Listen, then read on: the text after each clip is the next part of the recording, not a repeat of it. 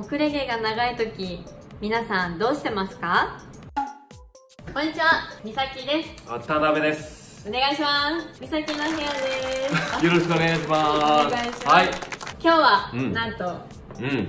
顔周りのカットですはいありがとうございます。はい、はい。遅れ毛やっぱり髪伸ばしてるとちょっと長くてうん。セットしにくい方多いかなと思ったので、うん。今日はちょっとすきばさみだけでうん。カットする方法をなんと教えてみたいな はい 教えてみましたっていうことを言いたかったんですね。すみません、はい。はい。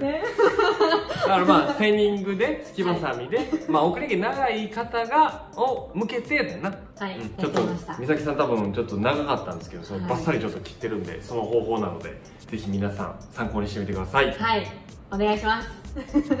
それでは動画スタート。まず遅れ毛を下ろしていきます。顔周りのだいたい5ミリ幅と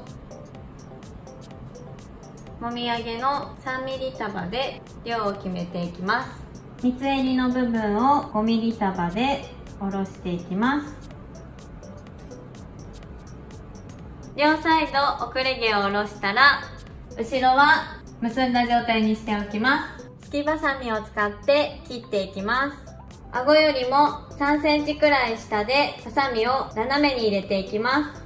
上から少し上下に動かすように切っていきます。もみあげの部分も同じくらいの長さでさっきと同じように切っていきます。三つ襟の部分は鎖骨よりも少し下の位置で切っていきます。26mm のアイロンを使っていきます。顔周りの部分は外巻きに巻いていきます。もみあげの部分は外羽で巻いていきます。三つ襟の部分も外羽で巻いていきます。リレーのフリーバームを使います。指先に少しだけ取り指全体に伸ばしてから少しずつ咲きながらつけていきます。